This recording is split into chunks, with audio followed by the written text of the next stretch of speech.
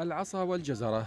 سياسة انتهجتها الحكومة منذ أول يوم للتظاهرات في محاولة لمواجهتها والقضاء عليها.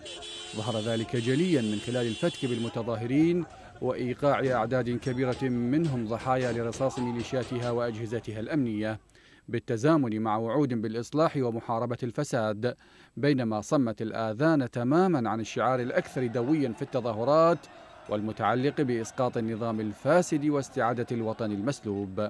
وعلى الرغم من طرح حكومة عادل عبد المهدي نظرية المؤامرة عند حديثها عن سبب اندلاع التظاهرات إلا أنها اضطرت تحت وقع ثبات المتظاهرين إلى الاعتراف ضمنا بحقهم عبر قرارات جديدة حاولت من خلالها امتصاص غضب المحتجين.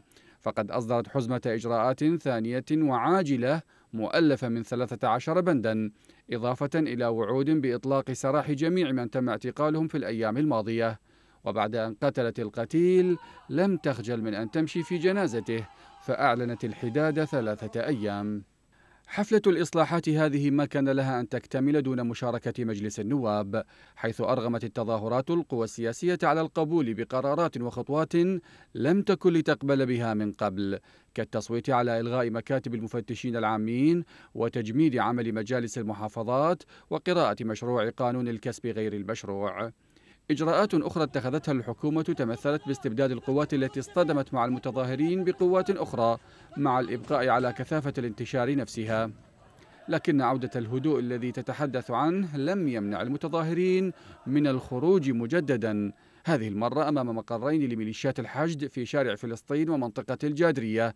مرددين هتافات تتهم قياداتها بالفساد وتحملها مسؤولية المجازر التي ارتكبت بحق المتظاهرين السلميين.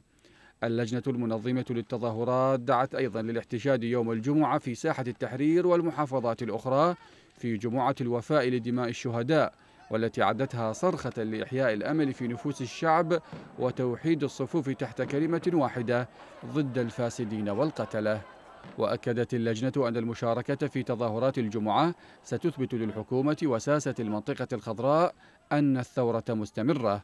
وهي ليست هبة وانطفأت ولا تظاهرة عابرة وانتهت أو حتى اعتصاما مؤقتا وفض في ظل مزاعم توفير الخدمات التي جاءت لتضليل الرأي العالمي مؤكدة أن الشباب الثائر أثبتوا للعالم بأنها ثورة وانتفاضة لن تنتهي إلا بعد طرد الفاسدين ومن يقف خلفهم.